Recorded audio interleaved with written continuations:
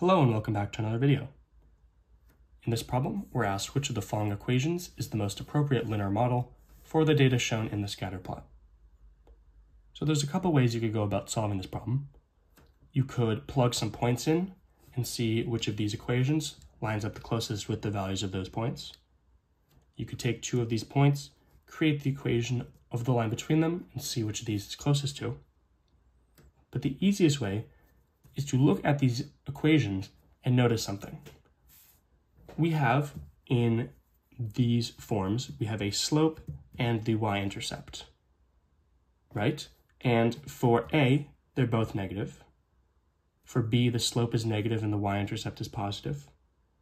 For C, the slope is positive and the y-intercept is negative. And for D, they're both positive. So if we can look at this graph and not find a specific equation, but look at how it's shaped and see, is the slope positive?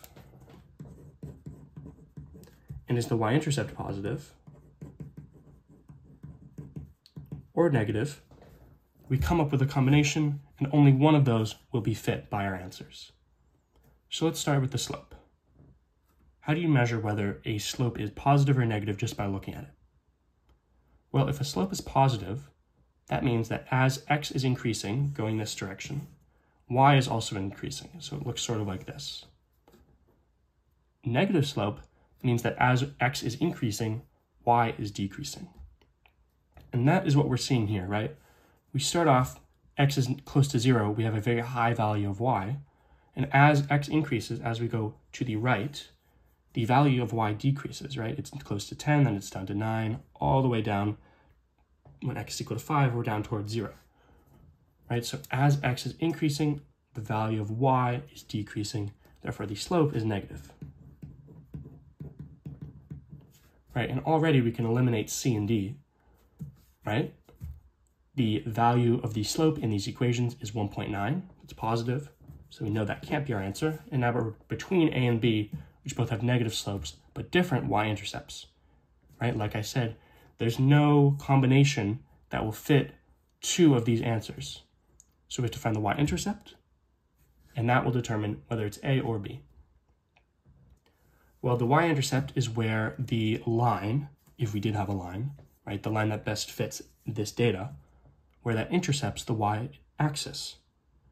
So if we're going to use, if I use this pen to approximate the line, it would look something like this, right?